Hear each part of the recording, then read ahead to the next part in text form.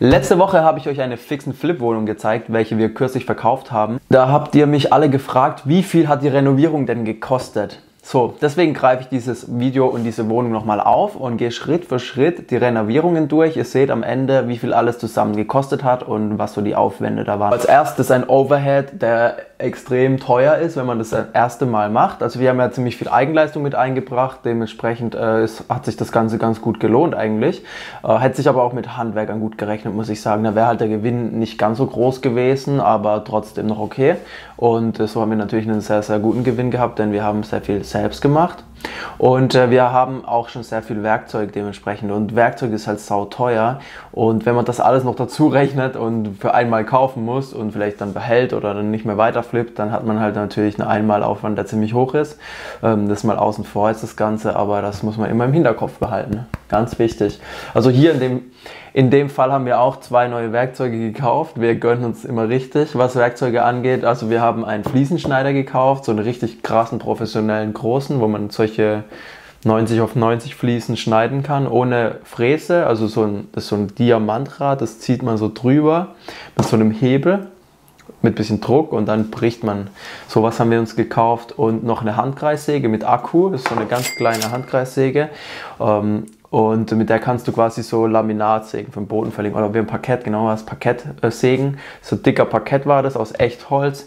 Und äh, da hat das ganz schön gut durchgezogen. Wir haben davor immer mit der Stichsäge gearbeitet. Ich muss sagen, Stichsäge braucht man immer noch für. Ähm, so Heizungsrohre aussägen und sowas.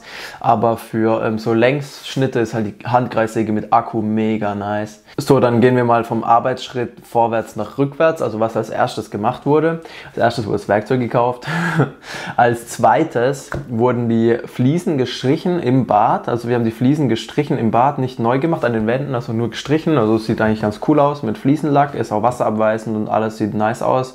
Dann haben wir die sanitären Einrichtungen abgebaut, Waschbecken weg, Duschverkleidung weg und ähm, Klo weg. Und im Boden, auf dem Boden haben wir neue schöne Fliesen reingelegt, 90 auf 90.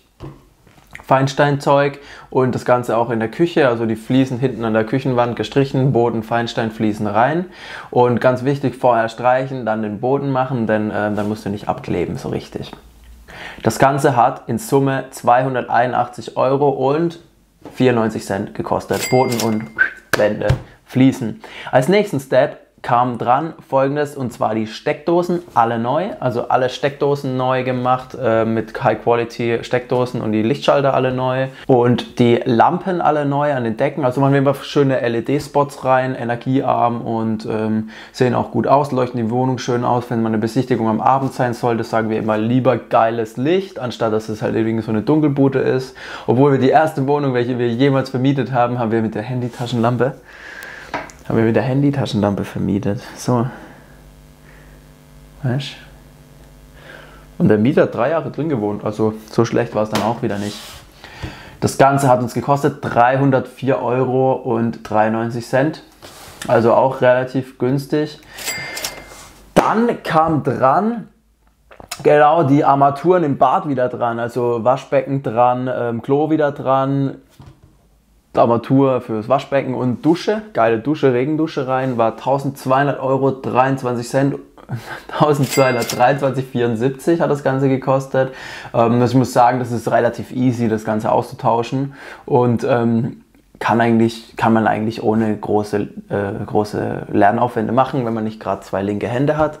Dann geht's. Ähm, aber ist easy. Lohnt sich auf jeden Fall da anzugreifen. Wir haben das hochwertigste gekauft, was es so, so ähm, im normalen Endkundenhandel gibt. Also es sind schon richtig, richtig schöne High-Quality Duscharmaturen. Und wir haben noch, ganz wichtig, äh, äh, Heizkörper einbauen lassen. Ein Heizkörper, ein Handtuch-Heizkörper haben wir einbauen lassen. Das war da auch noch mit dabei. Beziehungsweise, ich glaube, das war nicht dabei, der fehlt. Der hat nämlich so 700 gekostet etwa. Der fehlt. Hand, Handtuchheizkörper muss noch dazu von 700. Muss ich kurz in meine Tabelle noch eintragen. Was in diesem Fall der teuerste Step war, der teuerste Step von allen, ja, das war meiner, und zwar die, der Boden legen, weil ich lege meistens den Parkett rein.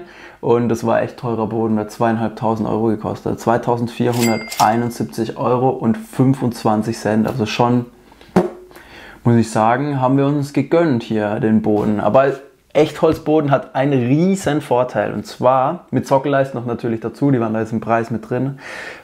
Und zwar der Boden, wenn du so Echtholzparkett reinlegst, das riecht so geil, also so hochwertig.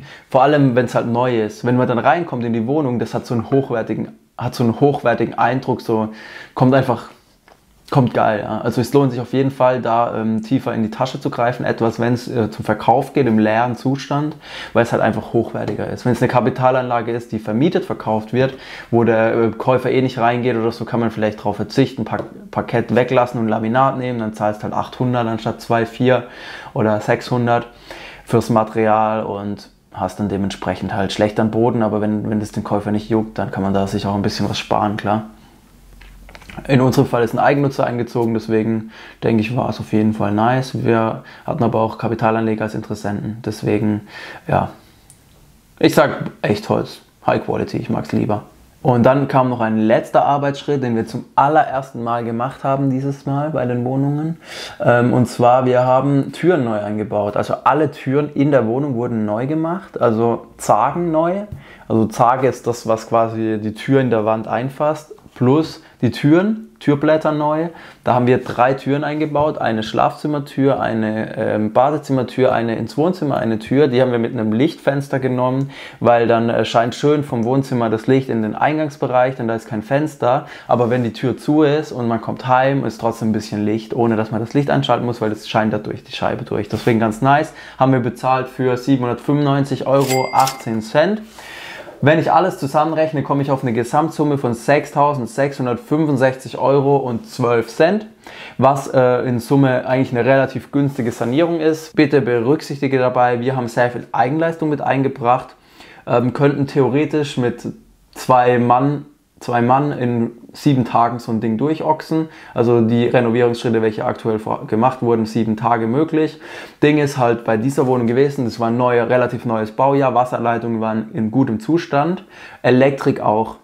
Und die zwei Sachen, die sind halt sauteuer und kosten sau viel Zeit. Und wir hatten halt das Glück, die waren gut. Deswegen ist halt ein Einkaufspreis 2000 Euro pro Quadratmeter oder 3000 Euro pro Quadratmeter oder 4000 pro Quadrat, wo du halt herkommst, nicht immer gleich 4000, sondern musst halt ein bisschen auch hinter die Kulissen schauen. Und wenn halt die Elektrik und das Wasser neu ist, kann man nochmal 200 Euro mehr zahlen. Denn äh, dann spart man sich halt hinterher bei der Renovierung riesen viel Stress und Aufwand und Kosten. Äh, wenn wir hier noch die Stunden mit reinrechnen, rechnest halt zwei Mann, also zwei mal sieben mal sieben Tage, also man arbeitet nur sechs Tage in der Regel, also zwei mal sechs mal ähm, zehn Stunden sind äh, 120 Stunden. In einer Woche ist das Ding durchgeballert. Also wenn man dann noch einen Stundensatz zurechnet von 80 Euro, ähm, was kommt dann raus? Ja, nochmal 10.000 Euro Kohlekosten on top, ähm, dann äh, wäre das noch dabei. Wir haben es jetzt nicht gehabt, weil wir es natürlich selber gemacht haben. Ja, also ich hoffe, äh, es hat dir weitergeholfen, das Video, und du hast äh, was dabei gelernt und vielleicht hast du auch den einen oder anderen Ansporn bekommen, dass du es mal selber renovierst, sowas, und ein bisschen Hand anlegst.